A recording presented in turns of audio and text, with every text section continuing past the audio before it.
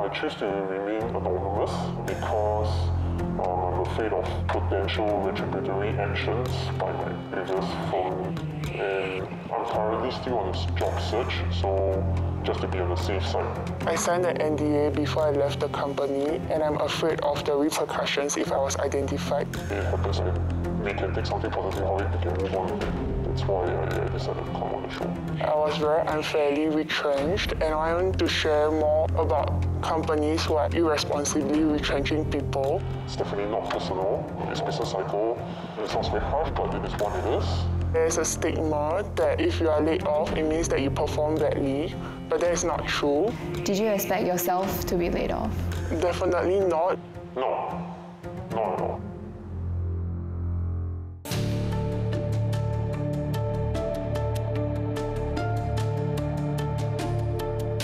Welcome to a special one hour forum of Talking Point. We are coming to you live today. Over 14,000 workers were laid off last year, the highest in three years. No one is spared, from the young to the old, fresh graduates to senior employees. And experts are warning that this is just the start. Meta, Amazon, Google, Shopee, and Lazada. These are just some of the companies behind the numbers you had seen earlier. Now, some of you may be wondering, am I next? Well, tonight I'm speaking to industry insiders and people directly affected to tell you everything you need to know about what really goes on behind layoffs. Here are my guests. Now, uh, you saw one of them in the video earlier opening the show, and now Karen, not her real name, joins us live. We also have someone who has carried out retrenchments in the course of his work. Because he will be revealing insider secrets, he has asked to also remain anonymous.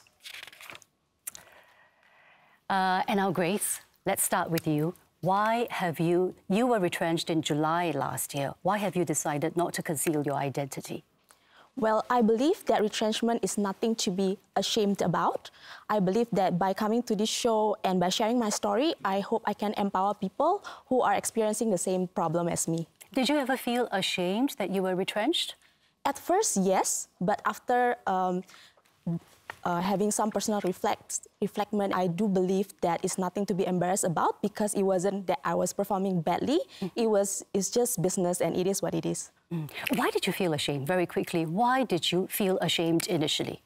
It was just the stigma of uh, being retrenched. We always heard that it's such a bad thing to uh, happen to us. So it's more like uh, the stigma that I've led to believe for so long. Mm. Yeah. Okay, you mentioned the word stigma. We'll talk more about that later on. Now, earlier on, I asked uh, Grace as well as Karen to show me what exactly was said to them when they were told that they were retrenched. I also wanted them to write down what hurt the most. Let's reveal what they have written. Uh, Grace, let's take a look at yours first. Let's see now. It says not expected at all. Uh, promised increment just a few weeks before you were given the news. So, needless to say, it came as a shock to you. Yes, it was very shocking as uh, we were promised an increment, uh, not just me, all of my colleagues were getting retrenched as well. So naturally, we thought that the company was doing okay and we were still going to be in the same job for at least six more months. Do you think that they meant it when they told you that, or it was something to throw you off? I think they meant it, but after further thinking, uh, they decided that uh, they needed to cut costs fast and they had to react fast after. That is really interesting, to cut costs fast. Mm. Uh, Karen, let's go over to you and see what you have written on your board. Uh, okay, so I wrote that during the process of letting me know, mm. the manager uh, was very obviously reading from a script and then there was really no compassion. So he really wanted to finish me off quick and go on to the next one. Why did that hurt you? Mm, I feel that I was just another number on their spreadsheet to cut off, and they had no thoughts about uh, what, how I felt, or uh, what are some of the things that I struggle with. Mm. Just another number. John, let me come to you now. As a HR practitioner, you've been directly involved in retrenchment exercises. Are they just another number? Take me through the motions. What usually happens? Yeah, obviously not just another number because we are really dealing with people here. if you think of that, is that any responsible companies, right, wouldn't want to do a retrenchment unless it's a last resort. That is what they are supposed to do, do the, uh, the, the, the, cost cutting as a last resort. But hearing from Grace earlier on, it seemed really last minute. Would you think, Grace, would you agree that it was a last resort? It was not a last resort. It was kind of like a um, last minute decision, I believe. Okay, uh, John, can I get back to you to tell me a little bit more about uh, what happens, what usually happens when a company decides to go through a retrenchment exercise? For example, is it via phone call, face to face, Zoom? What happens? Oh, it all depends on the number of people impacted. So ideally, if it's a company that is uh, actually a few people, it's always recommended to ensure that you do a face-to-face. However, during the COVID stage, when the employee were impacted, this is where the Zoom notification was done. Of recent, when you actually notice that when companies started to retrench a lot more people, this is where email notification also started to surface. John, you have been through five, at least five retrenchment exercises. How emotional do people get? I've heard stories that even security personnel had to be called in. Yeah, it's actually a very emotional and psychologically draining process. In my experience itself, right, um, every every individual that we have to notify can actually react very differently. What? But indeed, it's a very emotional process. Uh, Jeremy, let's come to you now. I know that you've been involved in some retrenchment exercises as well. Tell me through, take me through what happens. So, you know, what really happens is that right now we're in a super cycle where interest rates are high. And so for technology companies that are, as a result, disproportionately impacted by this, everybody is kind of really seeing what the weather forecast is, not just for this year, but for the next five years ahead. And so companies are working with their boards to basically say, what do we need to do differently? Because our assumptions, our forecasts that we had made years ago, that we had promises that we had made to our shareholders, um, are not going to be easily delivered. And so this becomes a consultative process between the founder and the CEO and the executive team, mm. as well as the board, about, for example, what the budget is going to be. And so a big part of the budget, as you imagine, is comprised of headcount. And so that strategic decision about what it takes to bring the company safely to the other side of this high interest rate storm uh, is really the crux of what's happening. And that strategic decision is made at the executive team, and as you can imagine, it's very much a small, tight process because you know you don't want to be in a position where you're unnecessarily scaring people if you're not going to conduct a retrenchment exercise. Versus if you do, then you want to do that with the right practitioners and the right practice and the right professionalism. It, it, sounds like you want to protect shareholder value, or at least continue to be able to build shareholder value. Uh, are there any other reasons why tech companies are, seem to be so much more affected than others? So technology companies are very much like you know sailing boats in the old ages, and so when interest rates were low, uh, it was very much a tailwind. It was pushing these ships, and so technology startups were able to sail very fast for the past 10 years uh, in a row and as a result, we've seen billion dollar companies uh, kind of sail all the way to the top. Um, and as a result, I think people have been very excited to join these companies because it has always been good times for the past 10 years. Unfortunately, due to the macroeconomics uh, of the sectors that we have today, interest rates have gone much higher due to inflation. And more importantly, even though we expect it to slow in terms of the hikes, uh, it may stay flat or at this high level mm. for several more years. And so with this, as a result, imagine now the tailwind has become a headwind. Macroeconomics aside, we've also read reports that some companies actually retrench workers ahead of an IPO launch to make their financials look more attractive to investors. How common is this?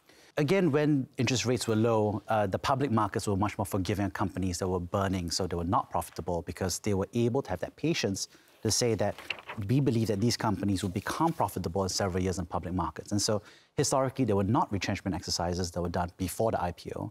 But now, because the public markets are very much more impatient for profitability as they list, so executive teams have to make a decision to conduct retrenchment exercises as part of the overall cost-cutting process mm. in order to reach profitability so as to be able to have a successful launch on the public market. Would you say that that's not retrenchments are not always the last resort in this case, particularly in this case? For technology companies, a large percentage of their budget will be people, uh, which is, I think, different from other traditional industries, for example, oil and gas and those with a lot of capital assets. Mm. And so that's always going to be one of the larger levers that's going to be available for the executive team to make a decision. Mm -hmm. So if you're going to trim some fat, so to speak, mm. that's the obvious place mm. uh, that you are going to uh, hands on. Uh, Karen, yes. hearing that, how does that make you feel? Uh, I think for my case, my company was quite uh, irresponsible. It felt like they took advantage of the loophole in the MOM uh, laws, whereby if a worker work less than two years, they don't have to compensate at all. So I actually worked less than a year, and all the people that came in with me all got laid off together. And I felt that we were unfairly laid off, not because of our performance, but because there was no need for compensation. So we were the cheapest to lay off. I want to ask uh, Grace very quickly did you get any retrenchment benefits? No, I didn't get uh, benefits, so to speak but I get uh, to serve two months notice, which I guess it's um, kind of the benefit that we are offered. Okay, I can't see how your notice period is considered a benefit, but the reason why you were not given retrenchment benefits, what was it? Uh, it was because we were asked to choose between uh, resignation or, um, or retrenchment. And at that point of time, given that two choices, I chose uh, resign instead of uh, re being retrenched. Did you ask if you were entitled to benefits, retrenchment benefits? Um, I did ask, but my company was quite small, and uh, the, we were facing some financial issues. So, being like uh, I wanted to be an understanding worker as well, and wanted to genuinely support the company. So I didn't try to push anything that would um, like you know not benefit them. Got it. Um, now let's take a look at the experience of Lionel, whom we saw earlier in the show. It was quite shocking. I didn't know how to react. You know, I didn't know what to feel because I wasn't informed that a retrenchment exercise was going on. There was no signs or any clue. We were sent an HR invite and asked to attend the meeting. When I attended it, I realized that it's actually a retrenchment exercise. I would have thought that we would at least be informed before the actual retrenchment there was no transparency. John, I'm going to come to you now. In the three profiles that we have heard so far, very little lead time was given to the retrenched workers. How much lead time is normally given ahead before a retrenchment exercise? Generally, when a company has decided to do a retrenchment, it could potentially take as short as one week to a month to plan the retrenchment exercise. Just, just imagine, right, when a retrenchment exercise, a responsible company has to look into which are the positions that will be impacted. Two is that which are the benefit that we are be able to ensure that the impacted receive. And three, what will be said to the impacted. And last but not least, right, what will be the messaging to the rest of the companies, right, and the people who stay with the company. When they say that it's last minute, it's truly from their angles that because they wasn't informed in advance, and typically company keep it very, very um, quiet about the thing because they don't want to actually rattle the rest of the company or affected the reputation. And that's where, right, typically that it sort of comes as a surprise to the impacted employee like a last minute. It sounds like all this is due to protect, all this is done is to protect the interests of the company versus the interests of the employees. Grace, is this something you agree with? Yes, to some extent that mm. uh, it benefits the company more. But in my personal case, I I think the the founder and the company was genuinely trying to help out as much as they could. Mm. So you yeah. you were given very little notice uh, when you were given the news. Take me to the day. What happened? Um, so that day we were all being called to uh, to meet up with the founder. So each of us were given like 15 minutes time slot, and uh, he talked to us one by one. Mine was like the second one that was being called. Mm-hmm. But I, after the first person left the office, we knew right away that that person basically told the rest of us that she was getting laid off as well. So we knew right away that that was a retrenchment exercise. Mm. Yeah. You still look a bit emotional when you talk about it. Does it still hurt? I mean, of course. Um, it was, um, I it was quite quite a low point for me, especially last year. Uh, this year, I'm so much better because I'm able to talk about it and really share about it on social media. Thank you for that. We'll pick it up right after this commercial break. Coming up, we review what really goes on behind closed doors before the axe falls on the employees.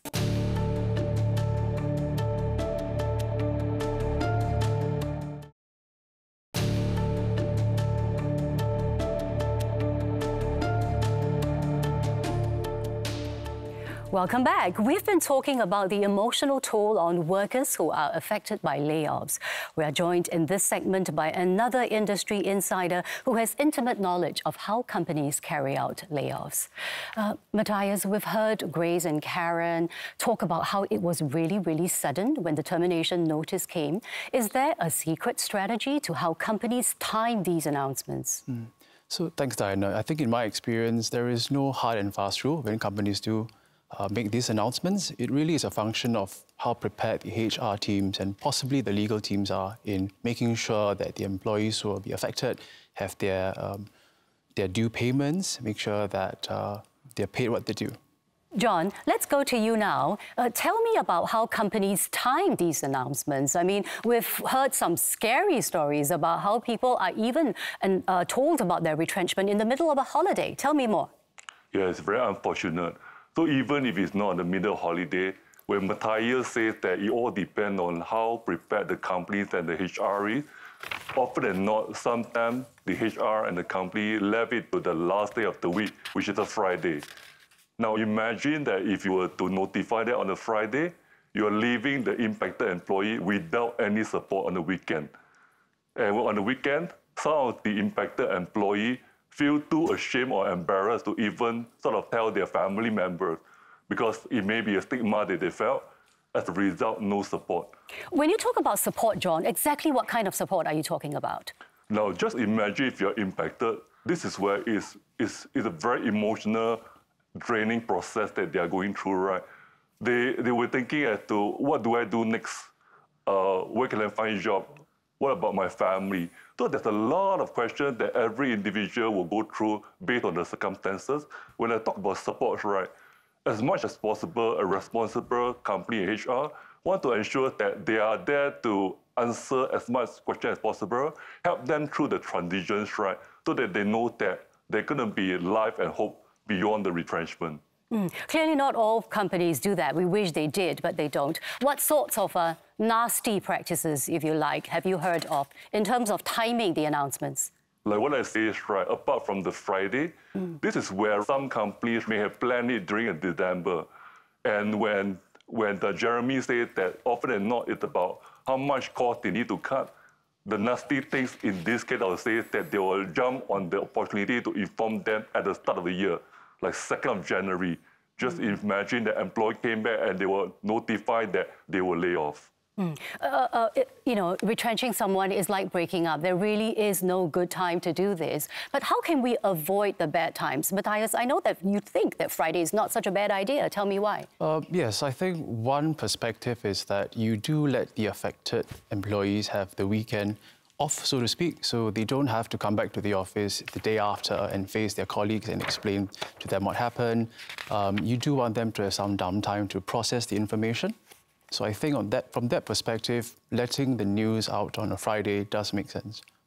Okay, um, let's move on now to contracts. Matthias, I know that you've helped companies to draft some retrenchment contracts. We managed to get hold of some contracts. Let me highlight some of the clauses. Employees may have to sign contracts which say they cannot disparage or say anything negative about the company. There is also the non-compete clause, which prohibits the employee from working on uh, working with another company which competes with the business of the employer for up to six months. Matthias, the non-compete clauses, even during my time, decades yeah. ago, we see that. But what is this non-disparage clause? Yes, so if we're talking about the non-competition clause, it's really a clause um, that is exceptional in that it continues to bind the, the employee after... Tell me about the non-disparage clause. Sure. The non-disparagement clause prevents the employee from um, saying anything or doing anything that puts the former employer in a negative light. So the purpose for that really is um, to protect the interests of the employer in making sure that the disgruntled, presumably employee who is out in the market looking for new employment opportunities does not go on and um, say nasty stuff about the time at the previous employer.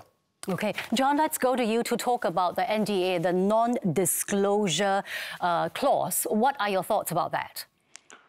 When it comes to the non-disclosures, right, it's very important that the company wanted to protect any um, unnecessary divulge of the uh, company operations. When you actually asked about my thought, I wanted to also share that NDA is also signed when an employee actually accepted the offer when they first joined the company. It's not only signed when they actually are separated. Right now, let's take a look at what Lionel has to say about the contract he signed.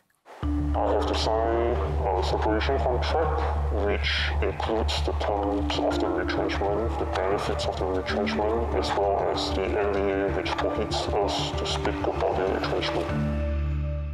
Karen, I want to ask you, you signed the NDA as well. How did that make you feel? Uh, yes, I felt like I was forced to sign the NDA, meaning I don't really have a choice because I did ask, what if I don't sign? And then the HR just said, if you don't sign, then you don't get anything.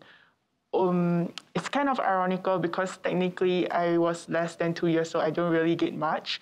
But at the same time, I felt very um, stressed and I, that I had to sign it. And then at the same time, I also asked them, what about the competitive clause if it's still held on? And uh, the HR to that said yes. Were so, you given sufficient time to sign the NDA?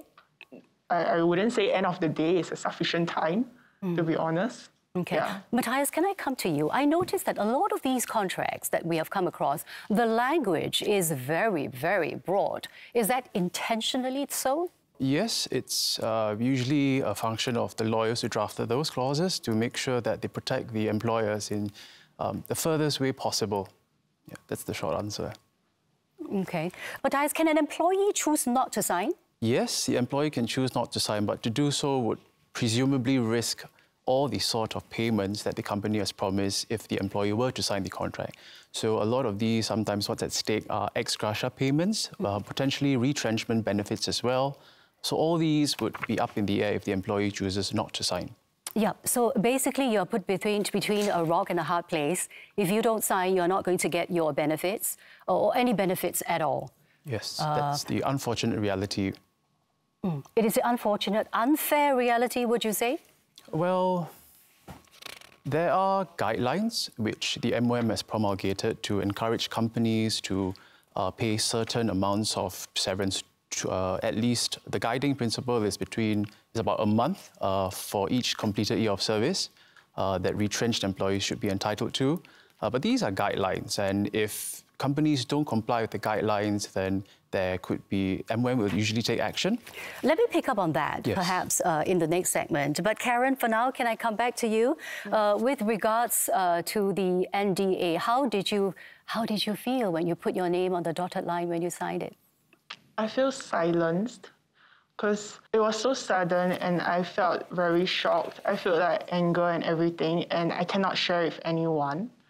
Yeah, so I really felt that I didn't have a voice and I didn't have a say in it. And telling me that it was not my fault didn't make it any better. It made me feel angrier because um, I know it wasn't my fault. So definitely it was the company's fault. And you telling me doesn't make me feel any better and you don't compensate me. So what is the whole point? Yeah, that's how I felt. Mm. I thank you for not keeping silent and speaking your mind on this show. John, can I come to you and ask you, is there anything an employee can do? Can we negotiate the retrenchment contract, for example? The employee cannot negotiate, but one thing that the employee may know is that typically when it comes to the payout, there are two parts. One is actually called the retrenchment benefit, and the other part, if it's on top of that, could be called the goodwill. Now, typically, companies, right, will not pay you the goodwill if you don't sign. But company cannot actually um, not give you the retrenchment benefits, right, in this exercise. Okay, uh, we uh, got to move on now. Matthias, let's go up. Tell me what goes on behind closed doors when a company decides to retrench. Yes, so by and large, you will have the HR team who will be very much involved in the exercise. Uh, very often they will work with their in-house legal counsel if there are. Otherwise, external lawyers might, like myself will get involved. um, we will usually come up with an action plan or a step plan uh, where we decide certain dates, certain things will happen.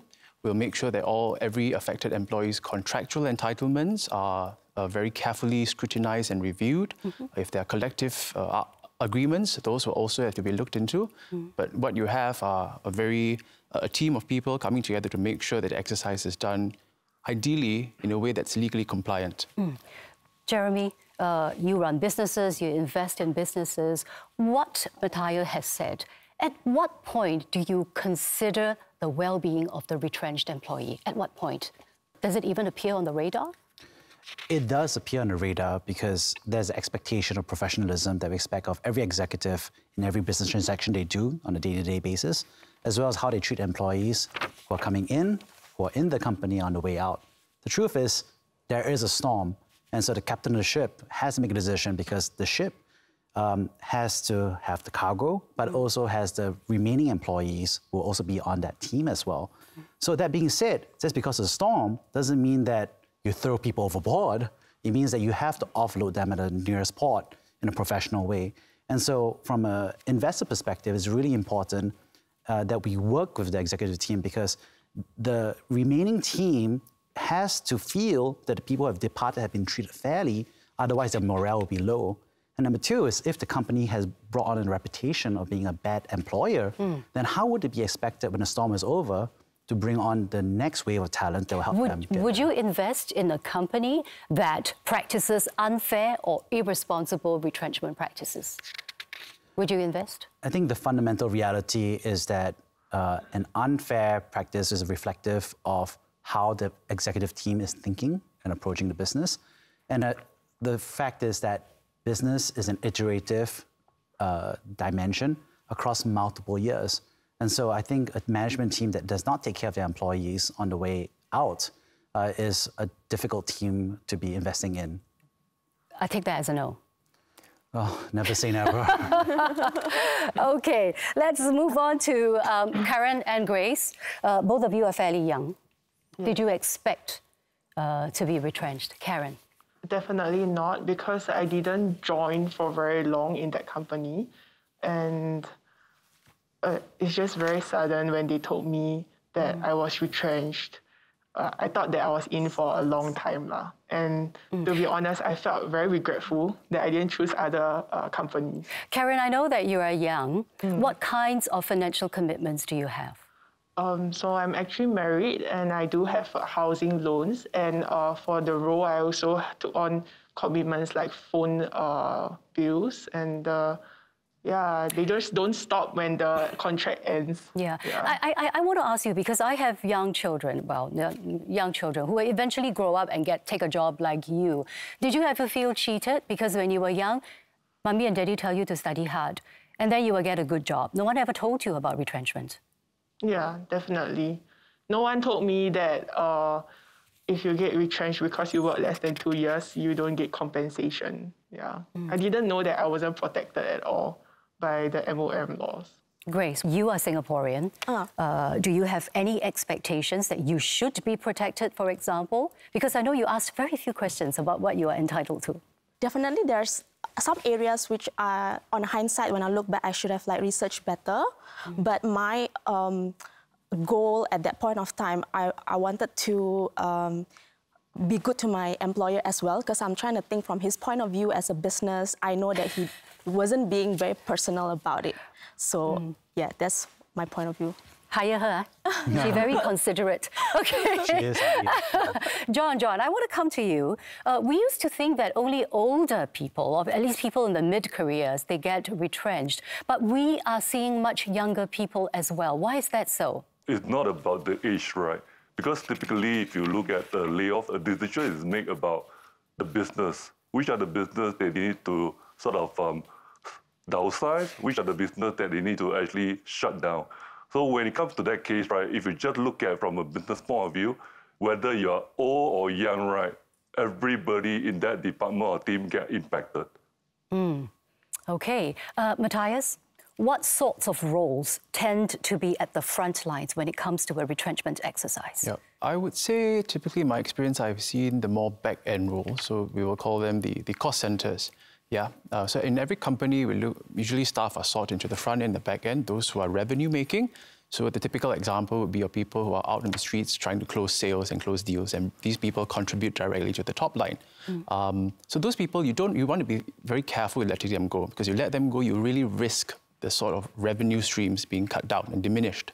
Mm. Uh, what we see are the people who are back end, people traditionally called cost centers, so uh, people who don't contribute top line. So, for example, possibly your HR teams, legal teams are not usually spared either, um, in-house finance teams, uh, yeah. Okay. Jeremy, uh, uh, Matthias has talked about the back-end employees and all that. Many of these tend to be females.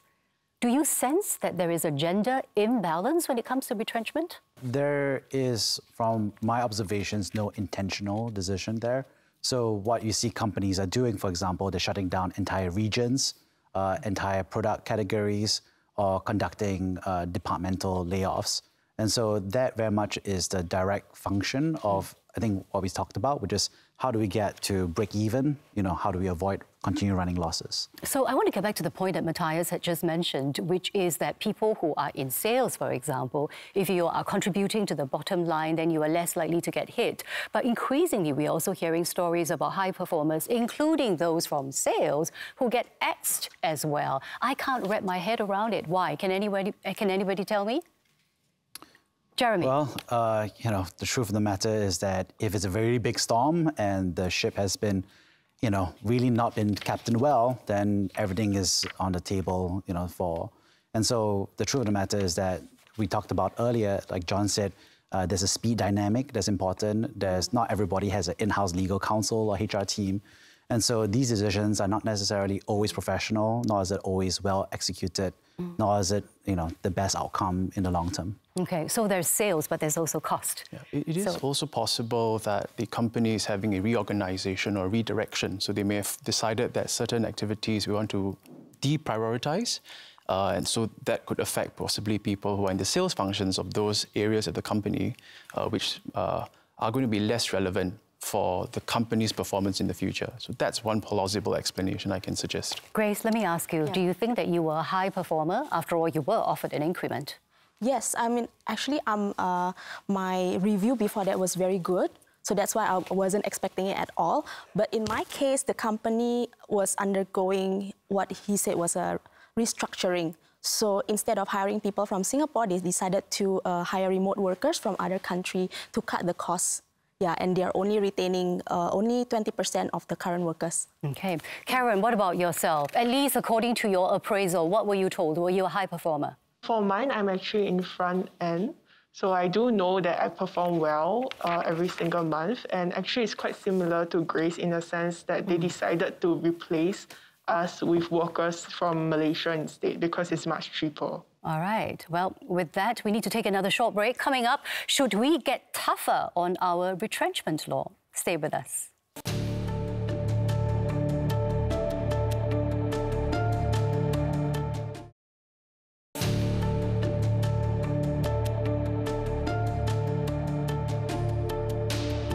How do employees' rights to retrenchment benefits compare elsewhere?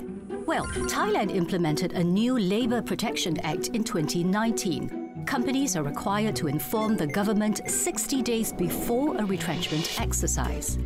In Singapore, it's within five days after. In Thailand and South Korea, the minimum advance notice employers must give to workers is one month. In the US, it's two months. This statutory minimum is much lower in Singapore, between one day and four weeks. In Thailand and South Korea, severance pay is also written into law.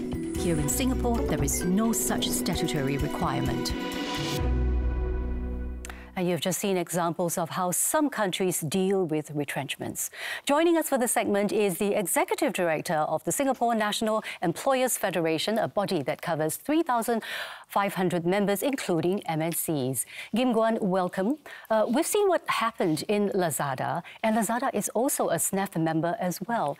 In the absence of tougher laws, retrenchment laws, what can SNEF do to encourage more employers to do the right thing when it comes to retrenchment? So to together with our tripartite partners, uh, we've issued a tripartite advisory. Mm. Uh, what may be true is not all employers may be familiar uh, with the advisory, where we advise uh, companies in terms of how they would be able to manage excess manpower, and as a last resort, if they need to retrench, how to do it responsibly. Wait, why aren't they familiar? It's not surprising that uh, in many companies, especially the smaller companies, uh, they don't have a full-time HR function. Mm. So the one individual may be dealing with many different issues, and depending on the priority of the day, uh, they may not be focused on all the different things that are happening, uh, both within the uh, country as well as in terms of the legislation and guidelines that are issued. Mm. Moving forward, what is the most important thing that you think SNEF can do to address the situation? Actually, the most important thing is um, upstream. How do we even prevent retrenchment from happening in the first place? So if you look at the numbers of retrenchment that is happening, uh, 14,000 plus, uh, landscape of total employment about 3 million. Mm. Actually, what you don't see are all the companies that have done all the right things so that retrenchment don't happen. Even when they are facing difficulties or even when they are having to transform because they are helping to bring their workers along, upskilling, reskilling them mm. so that the workers continue to be able to contribute to the success of the company. When the company does well, I think as Jeremy mentioned earlier, in the earlier days when tech is doing and booming, right? You don't see the company retrenching because they are in a growth spurt.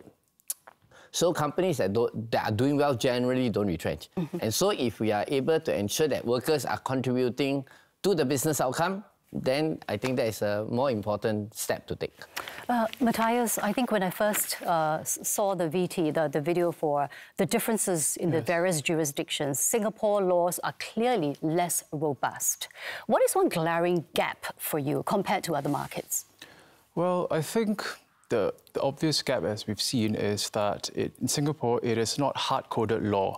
The obligation on the employee to pay out a certain amount for each completed year of service. Right now, that has the effect of a guideline, right? And if a company, should a company fail to adhere to those guidelines, MOM will intervene, as well as the rest of the tripartite partners, as we've seen in the news with the recent retrenchment. So mm. if something should be hard-coded into law, mm. um, I suspect that might be one area the relevant Can I ask very quickly, they may be just guidelines, yes. but will the courts refer to these guidelines? Uh, yes, we have seen Singapore courts refer to not just these guidelines, but other guidelines. A number of the ones that the uh, ministry has promulgated, those have been seriously uh, considered by the courts when they do adjudicate on employment cases.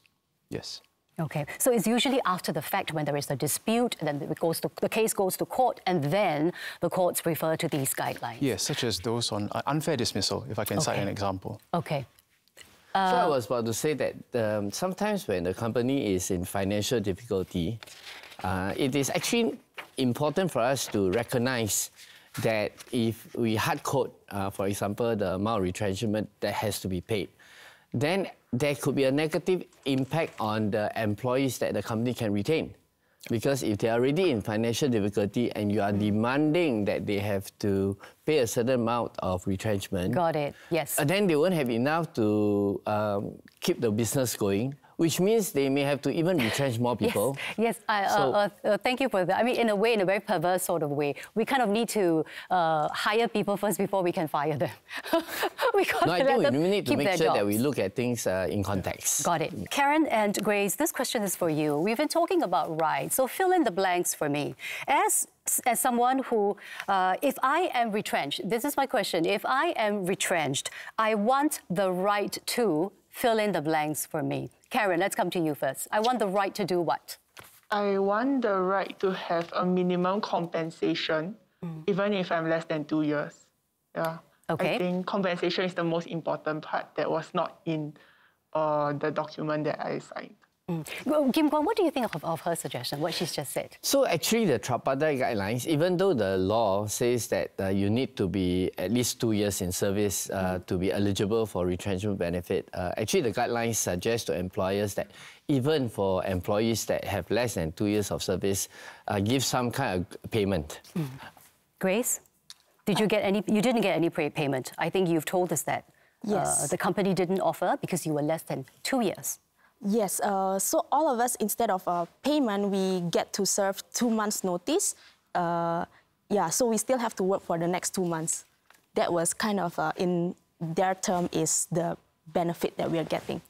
Yes. Okay. Uh, let, fill in the blanks for me, Grace. The same question that I asked Karen earlier on. If I'm retrenched, I want the right to do what? I think my answer would be quite similar to Karen. Like I want the right to kind of um, know more about like what my rights are and Mm. get uh, access to kind of like a minimum amount of wage that I can receive A, a compensation. That is very tough because as individuals, we hardly have any access to legal counsel. Uh, so, uh, I mean, there's much to be said about the playing field. Gim Guan, I'm just curious about one point because uh, below two years, the, uh, the employer is really goodwill. Lah, if you want to compensate or not. I'm just curious not to compensate. What might be the reasons? It could well be because of uh, financial difficulties. Uh, generally, that is the reason uh, in terms of their affordability. Okay. Uh, question is for the three uh, gentlemen here. Uh, we know that moving forward, we are expecting to see more retrenchments in 2024. What are the trends like? Which sectors are we seeing from? Uh, which sectors should be more careful? Jeremy. So interest rates uh, have been high and will continue to stay high for the foreseeable future for at least one to two years. And so I think technology as a sector will continue to be highly impacted by this because you know the profitability, the path to that is so far away. Mm-hmm. And so I think the worst is over, I would say, but I think there will still be some. Are you saying the worst is over for the tech sector?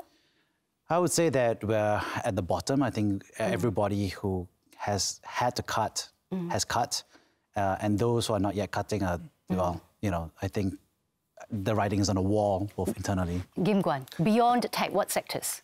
Actually, it's going to be quite difficult to predict, uh, partly because, for one, in terms of disruption, right, you can see technology disruption don't just disrupt the tech sector, it can disrupt many other sectors. And I think the question of the disruption impacting competitiveness and therefore impacting business uh, sustainability. Amongst your members, you have many different sectors. What's your sense of what's happening on the ground? Which sectors are likely to be impacted? The ones that are facing biggest issue now uh, are really relating to cost, right? Uh, and the cost uh, borrowing, uh, cost of uh, transport, uh, supply chain uh, costs, uh, as well as, of course, wage costs. So with all these different factors coming in, I, I would say that in general, the pressure is quite equal across all sectors. Everybody is going to Yeah, get but hit. of course, even in sectors that are doing well, there are companies that don't do well, right? So I w- I wouldn't zoom in on any particular Matthias, sector. what's your take? Which sectors are likely to get hit? I'm with Gim Guan on this. I think the tech sector definitely, because a lot of the big tech giants went on a massive hiring spree during the COVID period. Now they've realized that a lot of the targets that they wanted to hit for themselves um, were not were not actually hit. Uh, but I do think, I mean, if you look at recent data, you see that even non-tech firms have had to retrench a lot of workers. Any So, sectors in mind? um, I mean, there's FMCG, there are even financial sectors, banking institutions, we've seen let go of people. Okay. Well, it's, it sounds to me like no one, everyone needs to be careful around this time. I want to ask you, what is the one thing that workers can do better now to protect their jobs? Uh, Jeremy, let's start with you. The one thing that workers can do. Uh, I would definitely say uh, take advantage of the opportunity to reskill as much as possible. So stay on top of your skills, uh, be open to new employers, and also be open to exploring and training for new industries. New So- industries. Gim Guan, what's your take? Same answer, employability, right? How do you ensure that you are resilient uh, by making sure that you continue to upskill and reskill? Uh, perhaps look out for what are the new things that are coming, right? Sustainability obviously is a new area that is quite important. So if there is an area of interest, pivot there. I think it can't go wrong. Growing sectors. Matthias, very quickly. from Same you. answer, upskilling. I mean, the government has given everybody a top up of SkillsFuture credit, so I think I would say you put that to good use. Um, be creative and talk to people and network. Okay, well, be creative. Karen, I want to come to you. Would you work for a tech company again? No, I have that competitive clause. A lot of tech companies know how to take advantage of that two-year uh, loophole that MOM did not force enforce on them. So it's just a guideline to them. It's like just just a guideline. Oh. There's no punishment. How are you making yourself more employable? For me, I tried to reduce my salary. I would say. So you're willing to take a pay cut. Is that what you're saying? Yes. Okay, we wish you the very best, Karen. And Grace, what about yourself? Are you finding another job? Have you found one? No, I'm actually not looking for a new job as uh, the experience of retrenchment actually got me thinking of what I really want to do in life. And because of that, I decided to start my own uh, business, which is a social media agency. And it, it turns out to be a blessing in disguise, the whole retrenchment thing. Oh, congratulations. There you go. She's thinking out the box. She's pivoting and being creative. Well, on that note, uh, we thank you uh, all for coming uh, and, and also Karen and Grace for sharing your stories. Uh, to, for those of you who are affected or who want to be prepared for the wave of retrenchment, we hope that we have provided you with some clarity and comfort. Thank you and good night.